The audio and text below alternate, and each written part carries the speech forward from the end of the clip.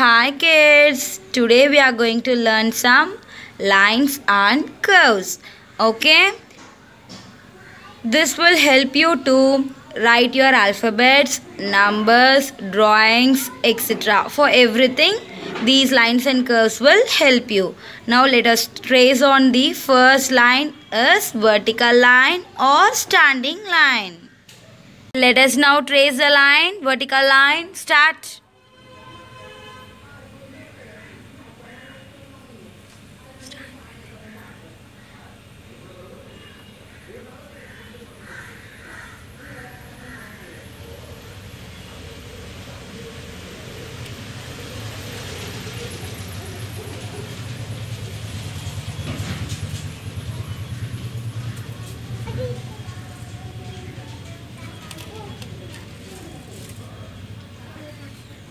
Now we completed tracing the vertical line. Next we can go on to the horizontal line.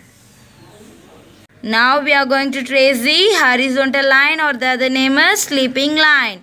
Okay, let us start now. Start tracing the line. Trace on the line. Okay, start, start, start. Okay, start doing. Good. We completed the tracing the horizontal line. Next we can move on to the next line.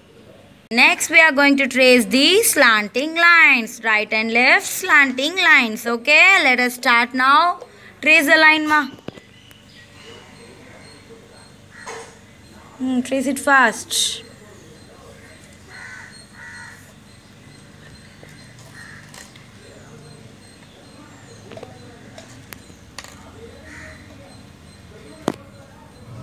Trace it on the line. Okay, next. This is how we traced the slanting lines. Okay, next we can move on to the curves. Now next we are going to see the curves. Up curve, down curve, left curve and right curve. Okay. Okay, first let us start on with the up curve. Trace the up curve.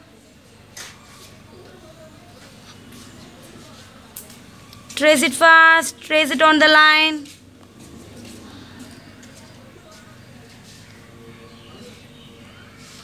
Trace it properly.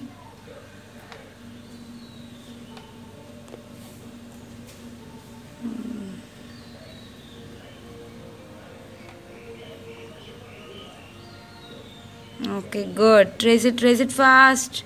So here we finished our up curve. Next we can go on to trace the down curve. Trace it, Papa.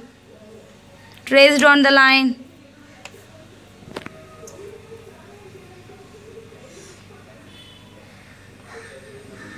So this is our down curve. Up curve and down curve we have finished. Next we can trace the left and right curve. And trace on the left and right curve.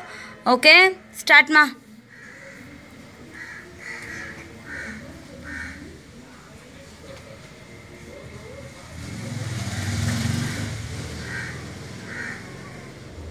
Now we finished our right curve. Next we can move on to the left curve. Trace it ma. Trace the left curve.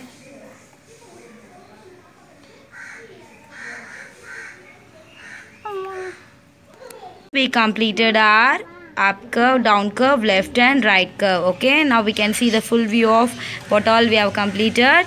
Okay, this is a finished activity today. This can be used for, for age 2.5 years onwards you can engage kids by using whatever things you have in your home. I have placed the beads that is crystal beads to trace the vertical horizontal slanting lines and some curves. Okay? Let us see in next activity. Bye. Thank you